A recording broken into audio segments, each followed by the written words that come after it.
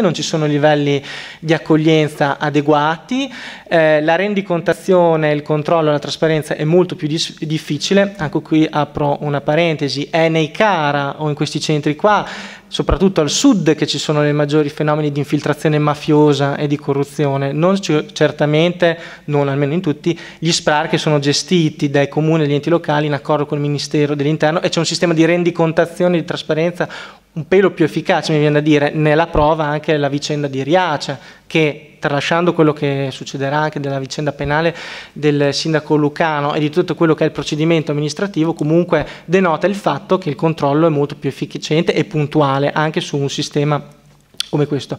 Quindi è quello su cui noi vorremmo ragionare, cioè sul fatto che, va bene, si interviene sul sistema SPRAR e tra l'altro non si riesce a capire nelle motivazioni per quale motivo si vuole andare a colpire e a restringere un modello che perfettibile ma finora aveva dato dei risultati per, tornare, per fare di fatto un passo, un passo indietro. Ma soprattutto e qui entro veramente in un discorso politico Cre io credo e mi trova profondamente contrario, quello che anima il decreto sicurezza, soprattutto in quella, in quella parte lì, è un intento Uh, come dire, ostile, ma ostile nel senso di creare le condizioni di un ambiente ostile per chiunque arrivi in Italia e voglia anche con le migliori intenzioni cercare di integrarsi perché il sistema SPRAR aveva della sua il vantaggio tra l'altro di poter, per chi era realmente intenzionato a farlo e rimanere qui, offrire le possibilità e le garanzie di integrazione. Questa cosa qui viene cancellata eh, dal decreto Salvini, perché vengono cancellate le possibilità di accedere a percorsi di formazione professionale o a lavori socialmente utili su base volontaria. Quindi è questo quello su cui vogliamo... Ehm, col nostro ordine del giorno puntare l'attenzione e dire che si sta andando verso un sistema di accoglienza peggiore, peggiorativo rispetto a quello che è comunque il modello dello SPRAR e soprattutto verso un sistema che implicitamente però dichiara la non volontà di lavorare per l'integrazione di chi è, arriva in Italia ed è intenzionato a, a, fermarsi qua. Poi tutte le critiche, tutte le osservazioni su quello che è il modello SPRAR sono perfettamente accoglibili, condivisibili e, e ci mancherebbe altro, però non so, eh, mi sembra che sia la classica situazione in cui si, si getta via il bambino insieme all'acqua sporca, se c'era un problema ma sugli SPRAR mi domando perché non intervenire su quel modello lì per cercare di renderlo migliore invece di restringerlo, di tagliargli i fondi e di togliergli di fatto l'acqua sostanzialmente cui, entro cui nuotava. E, e basta, questa è la precisazione. Altri interventi? Se non ci sono altri interventi passerei alla votazione. Però dichiarazione di voto, perché ne hai già fatti sì, due. Sì. Dichiarazione di voto. Allora, la mia diventa una dichiarazione di voto, è una proposta, eh, è una proposta, però prima la leggo, poi vi spiego la proposta. Allora, se la proposta non viene accettata, rimane la dichiarazione di voto che consegnerò anche alla Presidenza. Allora, il gruppo consigliare cittadini insieme in Unione rileva l'incapacità dei governi fin qui succedutisi di coinvolgere efficacemente e stabilmente la comunità europea nel salvataggio e nell'accoglienza dei richiedenti asilo. Il gruppo consigliare Cittadini insieme in Unione rileva che il nostro Paese, fortemente impattato dagli sbarchi, si è occupato di emergenza ma non ha avuto la capacità politica di porre l'esigenza, come ricorda in dato odierno il Presidente della Repubblica, di andare oltre questa, il che evidenzia l'incapacità di un'azione politica finalizzata a far venire meno le ragioni che inducono i migranti ad abbandonare il loro paese. Il gruppo consigliare cittadini insieme in Unione rileva la necessità che la Giunta dell'Unione Terra di Castelli faccia pervenire l'appello al Governo per una richiesta di effettivo sostegno dell'intera comunità europea al nostro Paese nelle politiche di aiuto ai migranti. Il gruppo consigliare cittadini insieme in Unione rileva la necessità che la Giunta Unione Terra di Castelli, in collaborazione con la Prefettura di Modena, si faccia garante dell'impegno dei comuni dell'Unione Terra di Castelli affinché avvino concrete iniziative volte ad evitare l'eccessiva concentrazione di migranti sullo stesso territorio ed a favorire un loro dislocazione sui, sui diversi territori secondo pari quote, assicurando il parametro di cui l'accordo del Piano Nazionale di Riparto dell'anno 2016. Questa è la nostra dichiarazione di voto. Se l'ordine del giorno presentato da centro-sinistra per le terre dei castelli con il logo Unione Terra dei Castelli che trovo anche singolare, faccio presente al Presidente, se lo ritirate e volete che presentiamo un documento comune su queste basi, noi ci siamo. Se invece volete portare avanti un documento politico del centro-sinistra per Terre di Castelli in questo modo, noi consegniamo questo, qua c'è il nostro pensiero, ma ci dissociamo.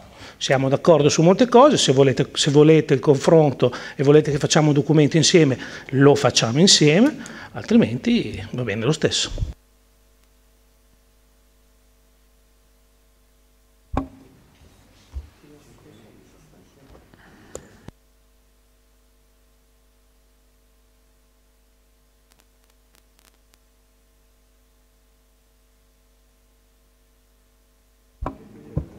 Quindi? Sì, due minuti di sospensione.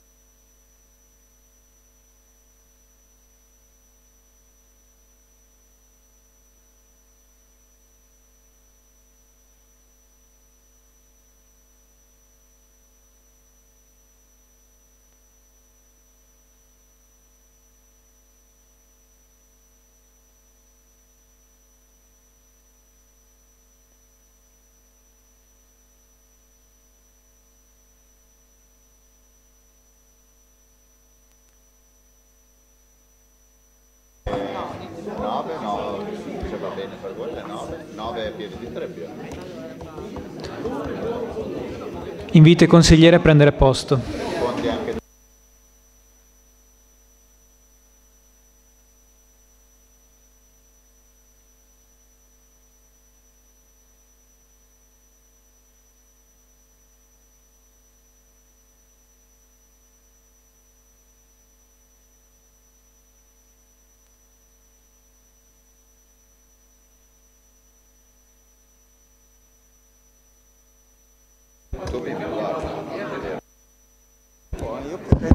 Venire insieme a lui, visto che dopo si svegliare alle 6.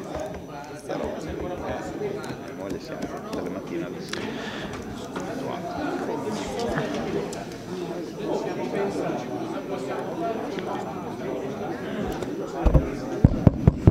Lascio la parola al capogruppo Campana. Volevo comunicare al capogruppo Gianaroli che non siamo disposti a ritirare eh, il nostro ordine del giorno, quindi mh, la, insomma, la sua documentazione può essere depositata, l'ho ri- mh, riconsegnata al, al Presidente, quindi direi che possiamo mandare in votazione il nostro ordine del giorno. Quindi se non ci sono altre dichiarazioni di voto metto in votazione l'ordine del giorno. Sì, era una dichiarazione di voto. Ah, era quello. Sì, sì, sì. Vuoi fare la dichiarazione di voto? Ah, Smeralda. Eh, il gruppo Unione Civica si asterrà su questo ordine del giorno. Ripeto quello che ho detto prima, è un ordine del giorno largamente condivisibile, è d'accordo anche il collega Gianaroli d'altra parte, Eh, quindi gli episodi di Lodi sono episodi deprecabili, così come la polemica contro il sindaco di Riace, come si dice nelle, nelle note di questo ordine del giorno, vi sono persino le note, Addirittura la direttrice del sistema centrale SPRAR ha dichiarato che il sindaco Lucano ha fatto a Riace delle robe incredibili che non erano neanche pensabili. Insomma. E sicuramente la politica di questo governo è una politica che, come diceva prima il consigliere Pesci, eh, tende a cancellare tutte le tracce di questi, di questi lavori. Tuttavia noi non condividiamo questo amore per lo SPRAR e quindi la parte dispositiva del, dell'ordine del giorno, per cui riteniamo che eh, il voto di astensione sia il più corretto. Metto quindi in votazione il punto numero 4. Ordine del giorno ad oggetto Un paese giusto, solidale e inclusivo, presentato dai consiglieri Campana, Fraulini, Galli, Mantovani, Mercati, Michelini, Montanini, Morselli, Pisciotta, Preci e Pesci del gruppo consigliare Centrosinistra per le Terre di Castelli. Favorevoli? Contrari? Devo dirti i nomi qua, ti dico i nomi. Sei contrari? Sì. Leonelli, Anderlini, Gianaroli, Ah, qui metterli tutti fino, eh, fino a Pelloni. Linari, Boni,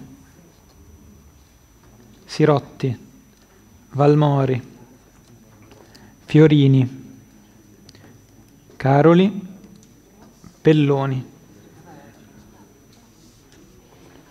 Astenuti? 3.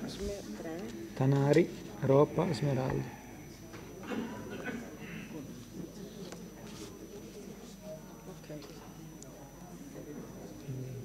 Allora, contrario 1, 2, 3, 4, 5, 6, 7, 8, 9 e 10. Ok. 10 contrari, 3 astenuti, 10, 15 favorevoli. Ok, quindi l'ordine del giorno è approvato. Conti tuoi.